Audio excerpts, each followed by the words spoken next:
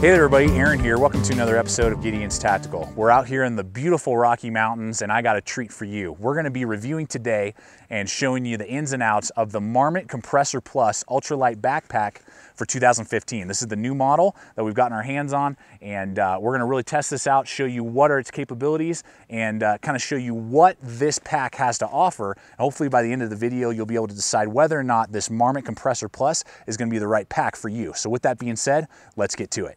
All right, guys, let's go ahead and look at some of the basic specs here on this pack. First off, I'll give you some of the dimensions. What we have from top to bottom is 16 inches. So it is a 16 inch long or height, 16 inches. It is nine inches wide. And when it's maxed out, it is nine inches deep. And this is definitely maxed out. So those are some of the kind of, you know, basic size dimensions for you. Then we have uh, a volume of 20 liters, or that equals the same as 1,220 cubic inches and it's going to weigh in at 12 ounces. So this is super lightweight pack, which is fantastic. And it's made out of 210 denier uh, double ripstop nylon, and it's impregnated uh, with silicone on certain parts of it.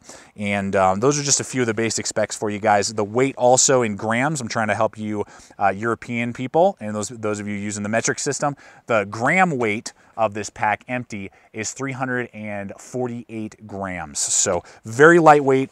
The, the name definitely, you know, it goes with it. Ultralight. This is definitely an ultralight pack. So those are some of the basic specs for you here on this Marmot. All right, so this pack is set up real nicely with mesh water bottle sleeves on either side, which is great. So if you're not wanting to use a bladder, you can easily get, you know, a full-size water bottle in there. Very nice, and it's gonna hold up well. Then they also give you a really nice vertical zipper right here. Good zip and that can hold a lot of food. You can put a lot of kind of different things that you might want. I have multiple Clif bars and different things in there and you can kind of see what's in there as well so you can remember what you have inside your pocket. So very nice little setup on the outside of the pack.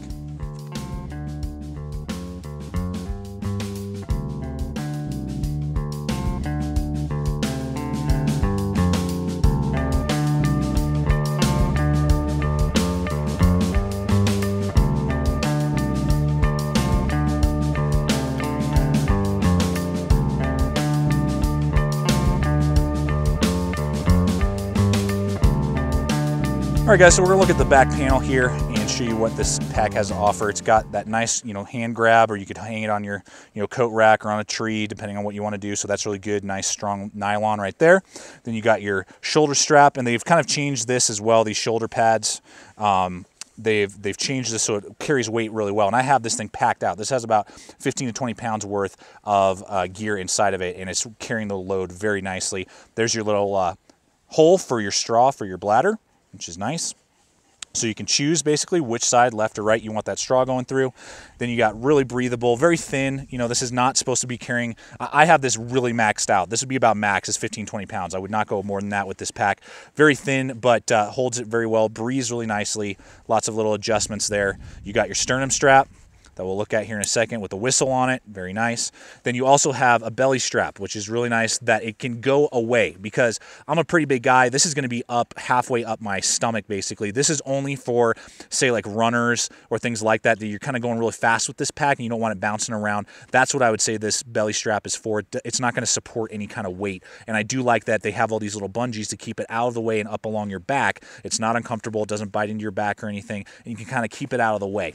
They have a drainage hole down all the way at the bottom here as well for the water bladder in case it leaks or you know has some residual condensation or whatever so that's nice as well and then yeah you can feel the water bladder right through here but uh, yeah that's the straps as well as some of the other little features on the back side of the pack all right, so here's the top pocket that they give you that kind of closes up the main compartment. It's got a nice little clip back here. You flip that over and get into your main compartment. But we're gonna look inside. Just a simple dump pocket, really good zippers again, really good, you know, pull. Zips open real nice. Very big. They enlarged this over last 2014's model. So, I mean, I have a little mini survival kit in here. I have my wallet, my cell phone, and I got my keys. And the nice thing too is that they put this little paracord tassel on the inside so you can actually do a little kind of maybe mini carabiner and attach your keys right there to the zipper so it's not, you know, flying around down in, in there and maybe falling out. So I like that little feature. Just, you know, details are, are very important on packs and that's a really cool little detail for that main pocket on the lid of the pack.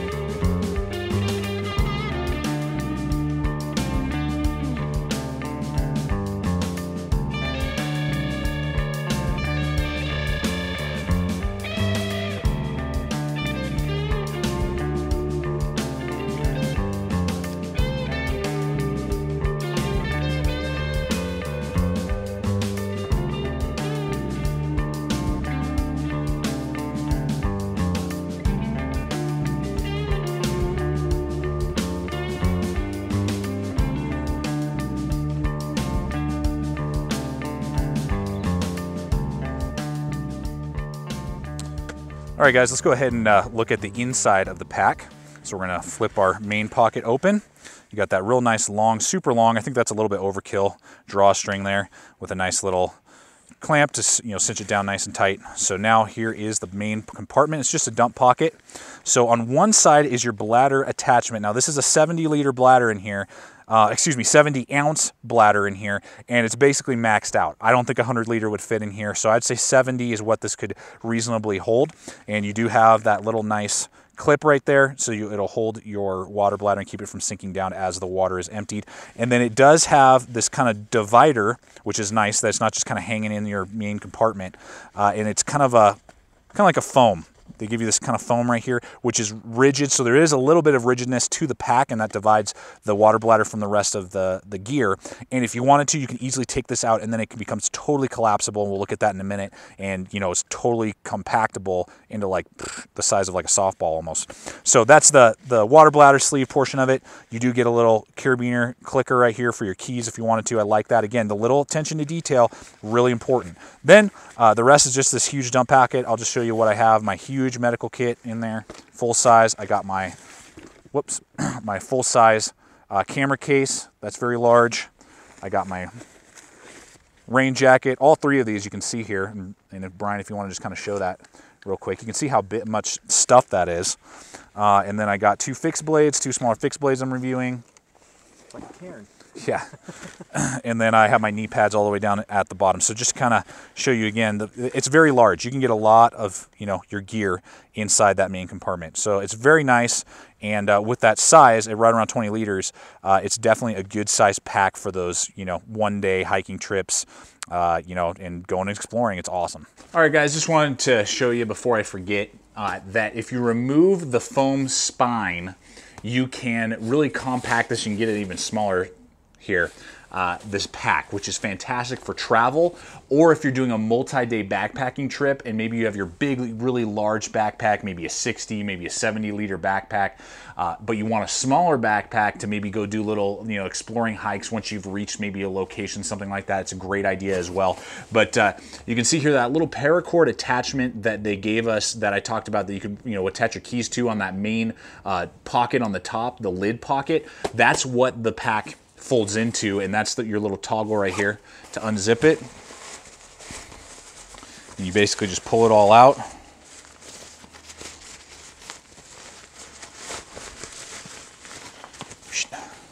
And so it's stuffed all in there. And now it doesn't have the spine, so there might not be quite as much support, but it'll still get the job done, particularly for light hikes uh, or light excursions, regardless if you're traveling or backpacking. Okay, so two last features on the outside of the pack is this little nylon bungee that is adjustable and it is in line with the little toggle down here so that you could run your trekking poles through there or a monopod or even a small tripod you could attach through there which is a nice little feature. Again where I have my Nite Ize S clip. I clip my you know um, gloves to that a lot of the time different things like that. And then they also give you compression straps which is really great. You can unclip those. You know you could uh, again have like something longer like a tripod, a small tripod along the side, or if you don't have a lot of gear in your pack, maybe you just have a water bladder and then maybe just your snacks or something, you can really cinch this guy down tight and really compress the pack and that is on either side, which is really nice. Well, everyone, it's time for us to wrap up this review for you on the Kompressor Plus from Marmot for 2015, their new 2015 model. And I gotta tell you, I love this pack. With all the testing that I've done, carrying more weight than it's really designed for on multiple treks, carrying it on multiple different excursions, carrying it with lightweight stuff, heavy stuff. Uh, I think it's a great little pack. Really holds well, you know, sits well on my body, and I'm a pretty big guy. A lot of these smaller packs don't fit me very well. This one does. It doesn't, you know, feel uncomfortable, and I love how lightweight it is. You know, I really care about my ounces, uh, you know, when I'm picking out gear. So for 12 ounces, phenomenal weight. Uh, the price point's there as well. I picked this up at REI for 60 bucks, and for that price point, I think you are getting a great item with lots of little features that really set it apart from other packs in this line. You know, I know uh, Mountain Hardwear makes stuff, REI makes their own stuff, uh, I, and I've reviewed some of those in the past, and this one definitely stands out from those, and I really like that a lot. Plus the fact that you can pull out that spine, you know, and you can just crumple it up basically and throw it in a luggage bag, and you know, when you get to your location after traveling, you know, flying, doing whatever you're doing, you can take it out and really, you know, carry your gear and get some really good, you know, exploration and hiking and backpacking in. So, guys, I love it. It. I think it's a great pack and I would recommend it to anybody who's interested in these ultralight, small backpacks. Definitely recommend it over here at Gideon's Tactical. Thanks so much for checking out the channel. Please check us out on all the relevant social media. Uh, check us out on Facebook, Twitter. Please subscribe, comment, like, share this video. And as always, remember, stay equipped, stay prepared. We'll see you out there.